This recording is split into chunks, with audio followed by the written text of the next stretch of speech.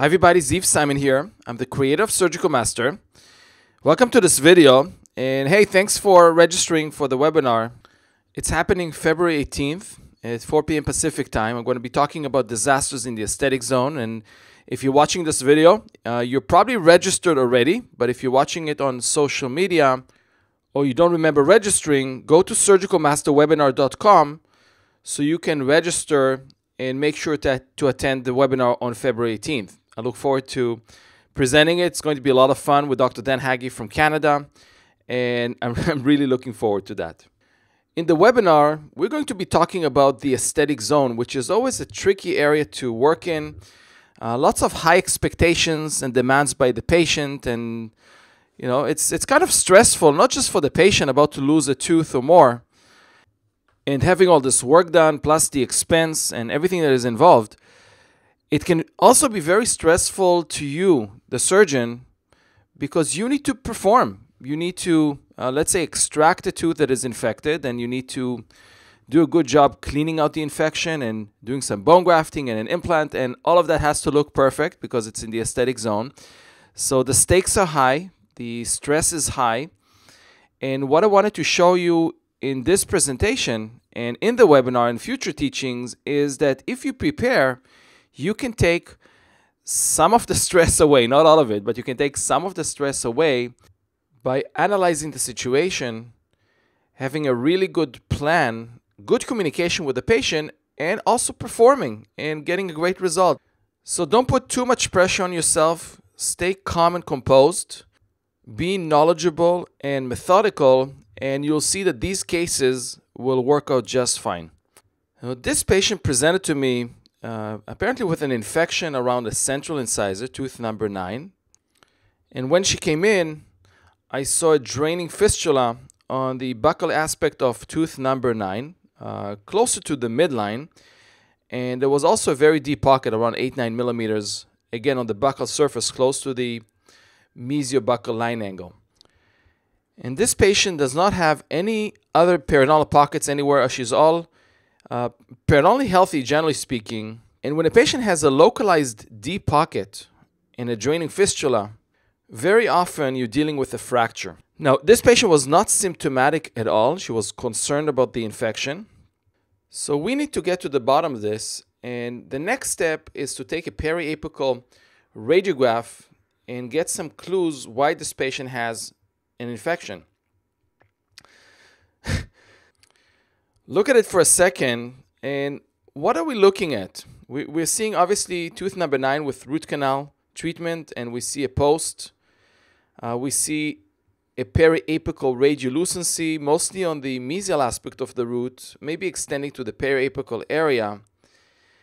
And we see an angle of the root and a totally different angle of the post, which is obviously the source of this problem. So, you know, you're looking at a periapical infection, uh, you're looking at probably a root perforation or, or, or fracture of the root. And like Dr. Fugazzotto says, it's TFT, meaning it's time for titanium. It's time to extract this tooth, clean out the infection, and replace this tooth with an implant. But really, what you're looking at is total disregard of the anatomy of the root while preparing the post space. And that's obviously unfortunate.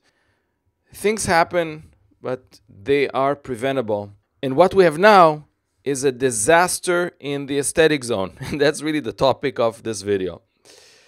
So if you're looking at the periapical radiograph and the clinical picture, there's a lot of things that you can learn just from that.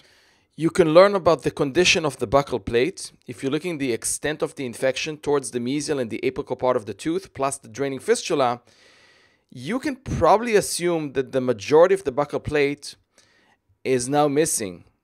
How much? We're going to find out. Uh, but it's definitely a disaster. It's going to be a, a pretty significant defect in there.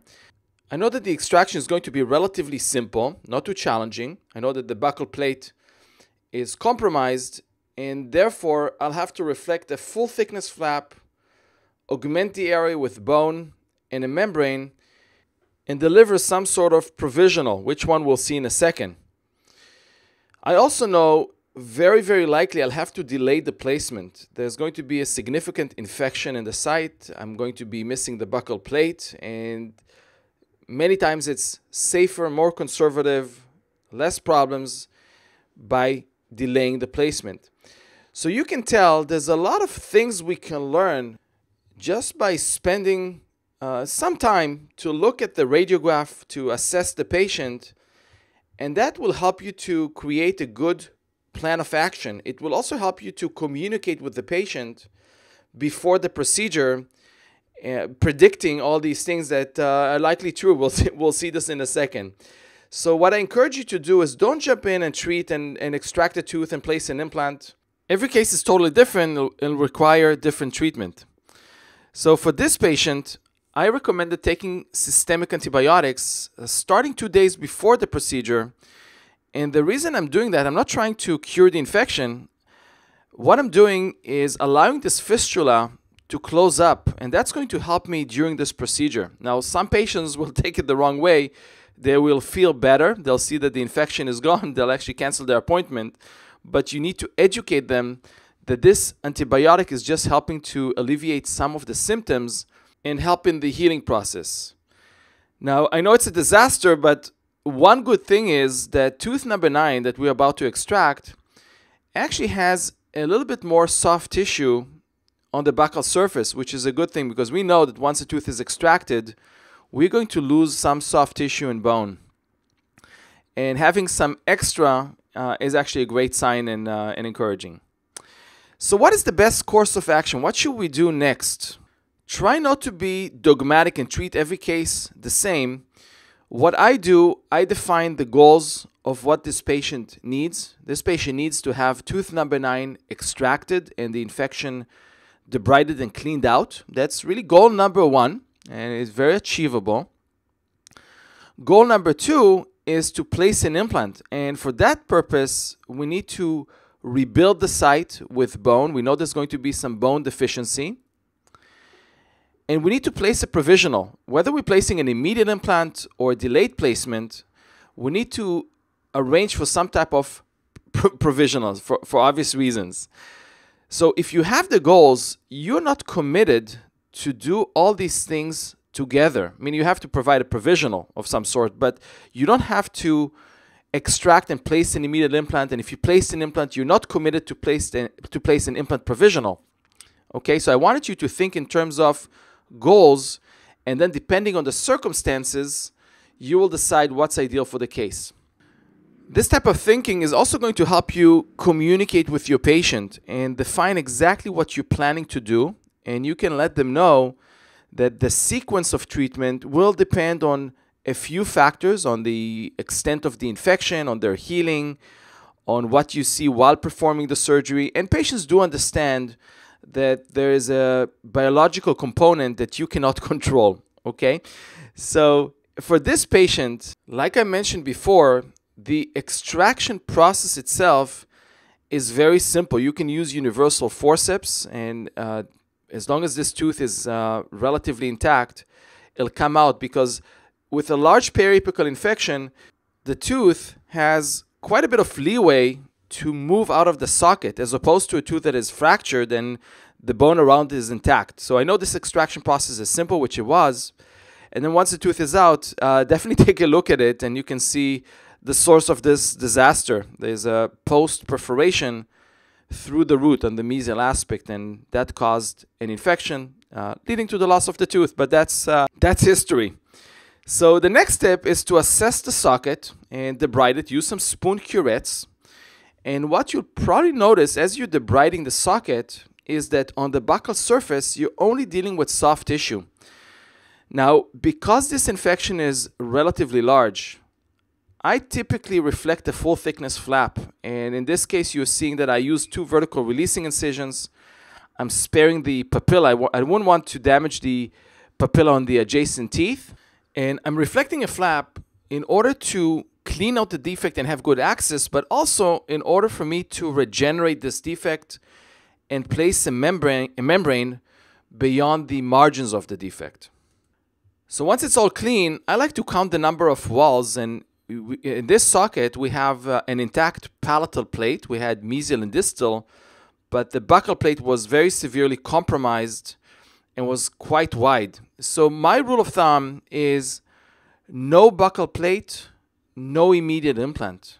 In my opinion, it's too risky, and my preference is to rebuild the site with bone and sometimes with soft tissue, get as ideal as I can, and only then place an implant and uh, not worry about initial stability and having some uh, you know compromise to the final result. So that's my opinion.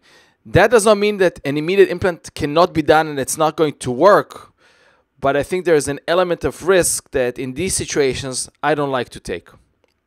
So my preference is to graft the socket with particulate bone, uh, in this case an allograft material, where I'm going to be filling the defect, as long as there's good vascularity, which you can see there is, to the fullest contour of the original ridge. And if I had the chance to redo this case, I would probably overgraft. I would add some additional bone, account for account for some of the bone resorption that we are expecting, add some platelet-rich fibrin or PRF to enhance the results, which I didn't do in this case. And I think I could have done a little bit better. Now, in order to retain this graft material, both on the buccal and the occlusal surface, I used one membrane that I reshaped uh, to be fitting slightly over the defect on the buccal and to be folded on top of the occlusal part of the extraction socket.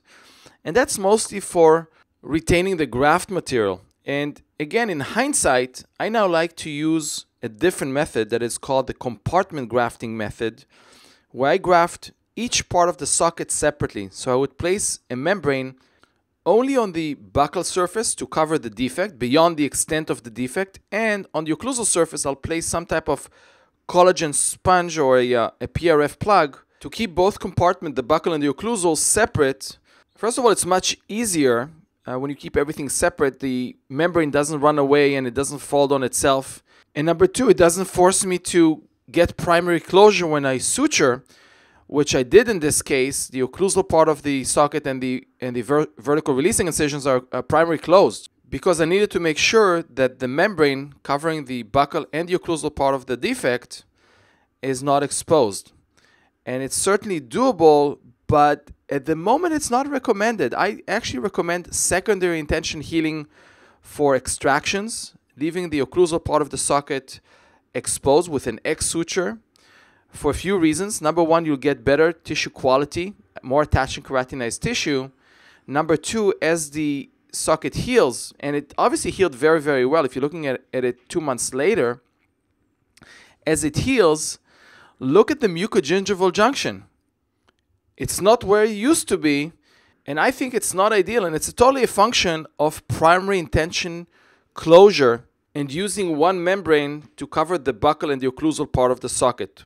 So there's always room for improvement, and we are all a work in progress. I'm going to talk more about this concept in the webinar on the disasters in the aesthetic zone. Now, I let the site heal for a few months, and I took a CT scan, and the site healed very, very well. I had uh, a really nice ridge that was ideal for an implant, and the bone quality was also great. I'm not going to show you the implant procedure. It's not the focus of this video, I'm going to share the implant placement in a future video, but the procedure went well. I let the implant heal for a few months, and you can tell that we had pretty good soft tissue contours and good papilla that will allow for a good restoration that is naturally looking with good soft tissue around it. The only regret that I have is that I never saw the patient back for a follow-up with the crown. And I'm dying to see how it turned out. And I'm obviously not going to mention any names here on this video, but if you are the patient, you're recognizing yourself uh, in this video, uh, please come in. I'd like to see how everything turned out. Make sure everything is looking good and that you are in great shape. You're a great patient, and I, I really enjoyed uh, treating you and getting to know you. And thank you for the opportunity to treat you. It was a privilege. I hope everything is well with you. So this was a disaster, and I wanted to show you in this video how by looking at the patient initially, looking at the radiograph, you can predict many things. You can plan for the procedure, you can communicate with your patient, and when it comes to performing this procedure, you are more calm and prepared, and everything is much more predictable. So I hope this video is helpful to you in the future when you're dealing with similar disasters in the aesthetic zone. In the next video, I'm going to talk about a different type of disaster in the aesthetic zone, a tooth with severe external and internal root resorption, and how I manage the case. I look forward to seeing you at the webinar on the disasters in the aesthetic zone, happening February 18th at 4 p.m. Pacific time. If for some reason you didn't register yet, uh, go to Surgical Master Webinar, and I'll see you then.